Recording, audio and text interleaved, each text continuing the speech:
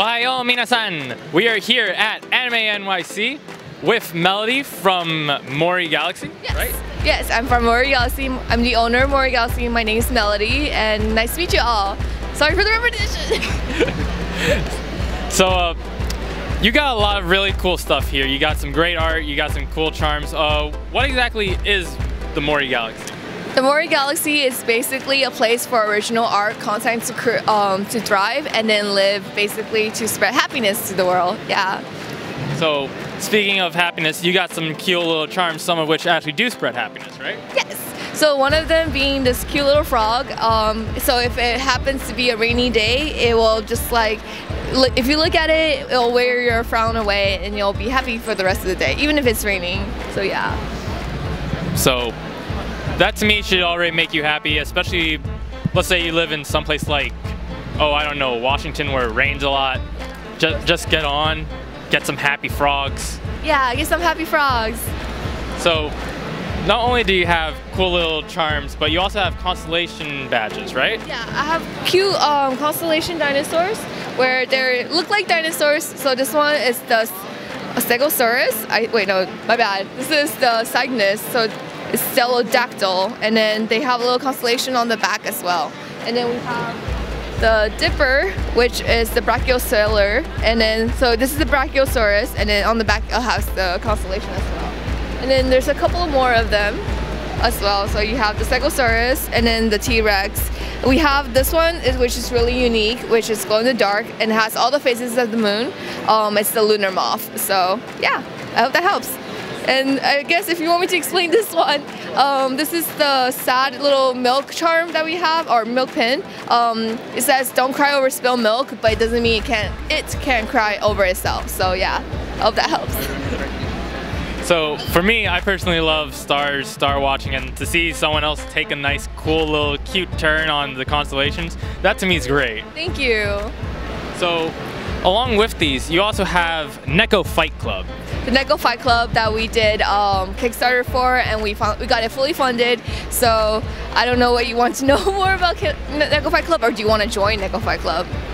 Can I do both? Yes, you can. Would you like to take a closer look? Let us have a closer look. Magical cut. Wow, that was a really great magical cut. Yeah, thank you. Um, so now that we're here, we have the Neko Fight Club jackets. So this one specifically is Ray. She represents talent, the best of both worlds. Um, jack of all trades, master of none. But just because you're jack of all trades doesn't mean it's a bad thing. Um, so yeah, and then here's the front of it, the jacket if you want to check it out. Neko Fight Club, yeah. And then we have Chi. Chi is oh slowly move up. Okay. she is the wisdom of the group and then she also wears the mask. Uh, you'll be seeing those masks later. Um, yeah, she's mind over matter over the jacket. She's like the smart ass of the group. If you're a smart ass, get this jacket. and then there's also Kiki. Kiki is the badass of the group. Uh, she's a fly, um, don't fly, and then she's more of the seize the day, th- fight, do now, think later type of girl. So if you're a Kiki, if you're a badass, take this jacket. so yeah, I hope that explains some. Yeah.